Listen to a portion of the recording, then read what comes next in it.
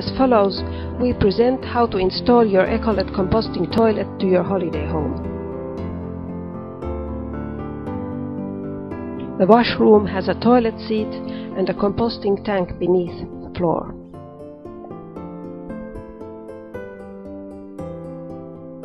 It is important to read the installation manual and look and follow the drawings before you start the installation.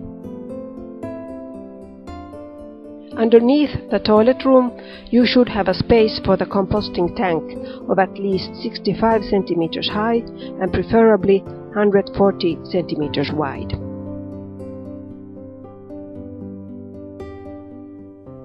Make a channel into the bearing ground surface starting from the center of the future composting tank for the liquid exhaust pipe.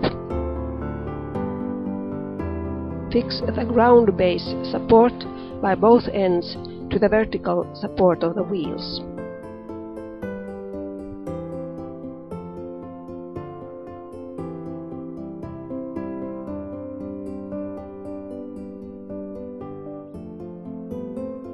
Put the liquid pan to its place.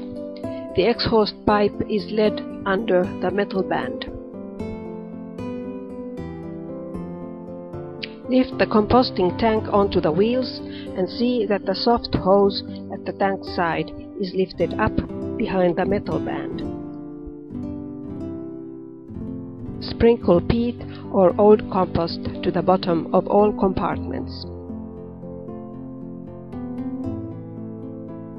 Lift the composting tank to its place, lifting by the wheel axis. From one of the three alternative directions, make an opening into the cover of the tank for the ventilation pipe and an inspection hole on either side of the opening. The spots are already marked. Make the openings.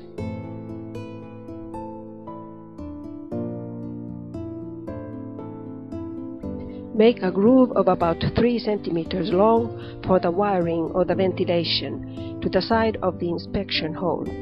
Mount the ventilation casing to its place with two screws. Mount the fan to its place with its text facing the pipe and wires running through the groove. Fasten the cover of the inspection hole with two screws. Lift the cover to its place. Mark a hole of the sewer pipe on the floor so it can be opened. The length of the sewer pipe is the length from the cover to the floor surface plus 225 millimeters. Saw the sewer pipe into correct length. The right depth is 195 millimeters from the bottom.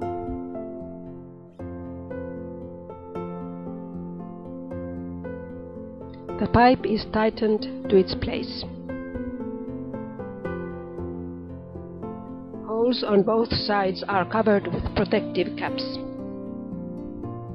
If a shower is located in the same space, you can connect the steam exhaust pipe in the ceiling to the back of the seat. Put the sealing compound under the seat and fix the seat to the floor with three screws. Attach the lid to the seat. Mount the inner shell of the seat to its place. Fix it with four white screws. Finally, remove the protective film. Connect the power cord of the existing ventilator to the power source. Insert the plug into a socket and fix the cabling so that the rotating tank shall not come into contact with cabling. Check that the fan blows the air towards the pipe. We recommend to insulate and encase the ventilation pipe going through the roof. The upper end of the ventilation pipe shall be brought above the roof ridge so that turbulence shall not hinder ventilation. The roof penetration should be made waterproof by the black plastic collar tightened with a clamping ring.